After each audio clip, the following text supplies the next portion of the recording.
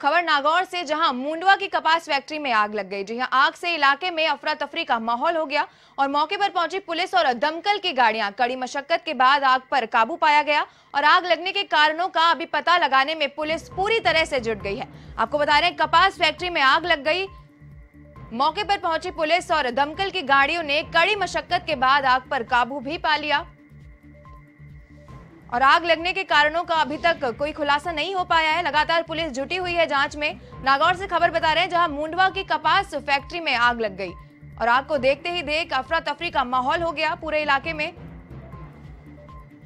Police और दमकल की गाड़ियाँ मौके पर पहुँची और कड़ी मशक्कत के बाद आग पर काबू पा लिया गया।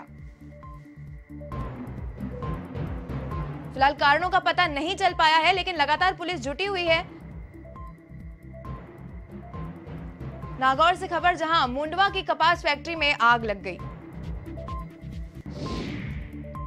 आपको बता दें कि आग से पूरे इलाके में अफरा तफरी का माहौल हो गया, लेकिन कड़ी मशक्कत के बाद आग पर काबू भी पा लिया गया। पुलिस और दमकल की गाड़ियाँ भी मौके पर पहुँची। जिससे अफरा तफरी के माहौल को शांत करवाकर कड़ी मशक्कत के बाद आग पर काबू पाया गया।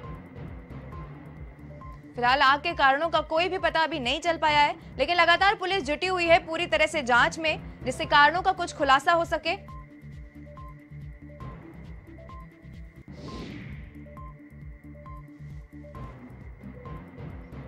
कड़ी मशक्कत के बाद आग पर काबू पा लिया गया। आपको बता रहे हैं कि नागौर की मुंडवा कपास फैक्ट्री में आग लग गई।